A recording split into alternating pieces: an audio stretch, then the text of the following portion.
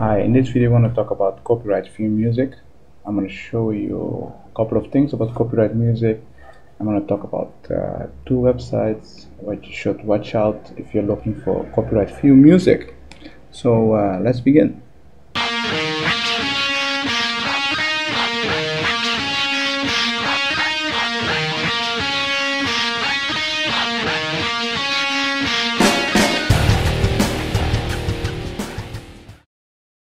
What's important to know is when you're looking for copyright music, it's important to know that you have license. When someone make a music, they have copyright on it.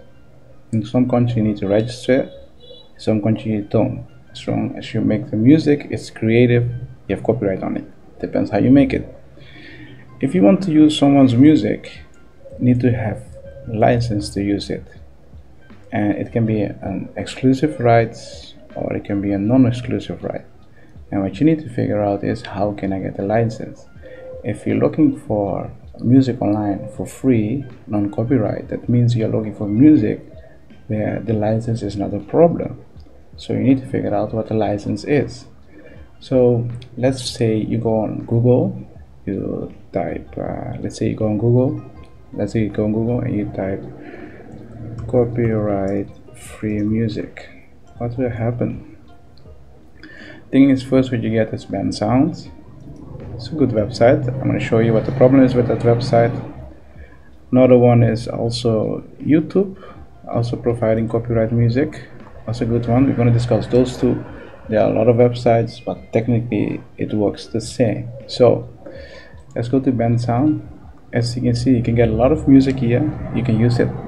Some of them you can use for commercial some of them you cannot use for commercial. Thing is you need to look at the license. So here they have clearly what the license is and in this license they are saying what you're allowed to do and what you're not allowed to do. And the thing is with music if you're looking for free music there's always a catch. They will always ask you for attribution. So for example when you upload the music in a video or anything you put, need to put music song title from bensound.com the reason why they are doing this is this is an indirect marketing so when you promote your video somewhere people will see the name and they will redirect to the website so people can always come back to the website to look for that music. That's just indirect marketing. But if you don't want to put the attribution you have to pay for it. And here they are saying what the standard license is and what the extended license is national and international licenses and this is what the what the license is. And uh, here they're comparing the license. So this is the free license. You have to put credit. But if you have a standard license or normal license you don't have to put credits. And uh, this is what you're allowed to do and what you're not allowed to do.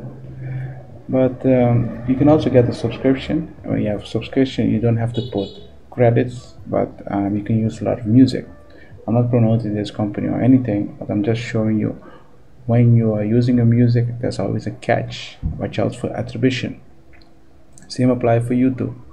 Here you have some copyright music but you also have um, youtube library. Youtube youtube library audio library music library.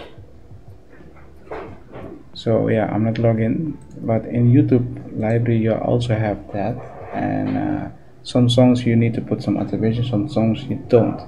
And those music you can use it on youtube so that's how copyright for music work.